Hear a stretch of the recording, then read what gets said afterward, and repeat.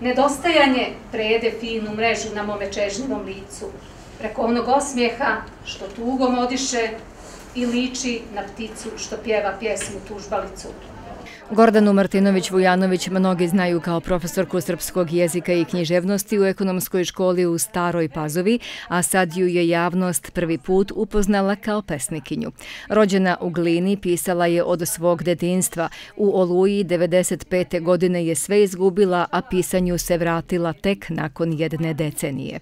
Piše na najrazličitije teme, ali priroda je u skoro svakom stihu, što se može naslutiti već iz naslova kupit ću pticu. E, ptica asocira na neku slobodu, na, podsjeća na, na neku nesputanost i na mogućnost da se sve e, ostvari. A čovek najviše čini mi se od svega želi da bude tamo gde nije. Druga zbirka Čarenilo Bagrema štampana ove godine prepuna je maštanja.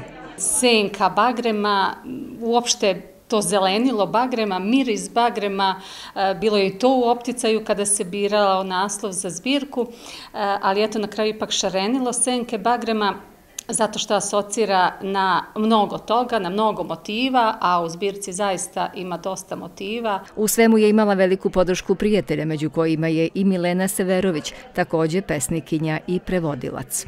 Kao što kaže Danilo Kiš, biografija određuje pisa, e, tako je i njena biografija birala teme e, različite koje obrađuje od putovanja, od selitbe pa do srema.